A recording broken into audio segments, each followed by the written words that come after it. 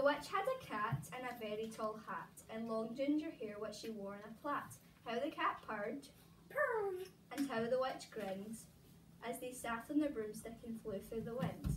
But how the witch wailed and how the cat spat, when the wind blew so wildly it blew off the witch's hat. Down cried the witch, and they flew to the ground. They searched for the hat, but no hat could be found. Then out from the bushes, on thundering paws, there bounded a dog with the hat in his jaws. Then he dropped it politely and eagerly said, I'm a dog as keen as can be. Is there room on the broom for a dog like me? Yes, cried the witch, and the dog clambered on. The witch tapped the broomstick, and whoosh they were gone. Over the field and the forest they flew. The dog wagged his tail as the stormy wind blew. The witch laughed out loud and held on to her hat, but away blew the bow from her long ginger plait. Down cried the witch as they flew to the ground. They searched for the bow, but no bow could be found. Then out from the tree, with an ear-splitting shriek, there flapped a green bird with a bow in his beak. He dropped it politely and bent down his head low, then said, I'm a bird as green as can be. Is there room on the broom for a bird like me? Yes, cried the witch. So the bud fluttered on. The witch tapped the broomstick and whoosh they were gone. Over the reeds and the rivers they flew. The birds shrieked with glee, and the stormy wind blew. They shot through the sky to the back of beyond. The witch clutched her bow, but let go of her wand. Down cried the witch as they flew to the ground. They searched for the wand, but no wand could be found. Then all of a sudden, leapt out of the pond a dripping wet frog with a dripping wet wand.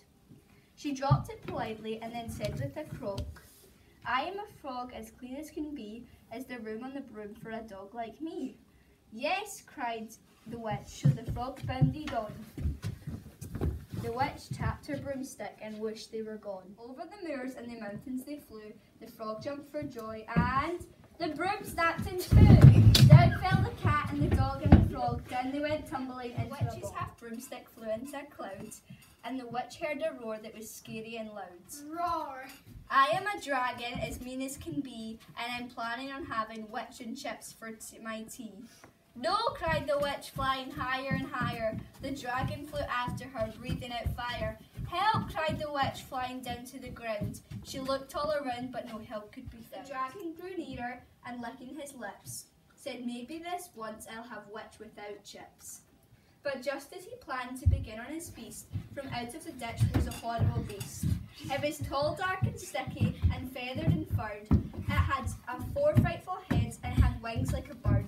Its terrible voice, when it started to peak, was a yell and a growl and a croak and a shriek. It dipped and it squealed, and it drove from the ditch, and then it began to say to the dragon, That's all. That's I'm sorry, he spluttered. I made a mistake. It's nice to have met you, but now I must fly. He spread out his wings and was off through the sky.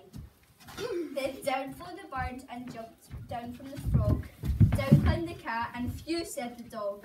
Oh, thank you, oh, thank you, the grateful witch cried. Without you, I'd be inside that dragon's inside. Then she filled up her cauldron and said with a grin, Find someone everything, throw, throw something in. So the frog found a lily, the cat found a cone, the bird found a twig, and the dog found a bone. They threw them all in, and then the witch stirred them well, and while she was stirring, she muttered a spell. Eggity, sickety, saggity, zoom! It rose a truly magnificent broom, with seats for the witch and the cat and the dog, a nest for the bird, and a shower for the frog. Yes, cried the witch, and they all clambered on. The witch tapped her broomstick, and whoosh, they were gone. Witch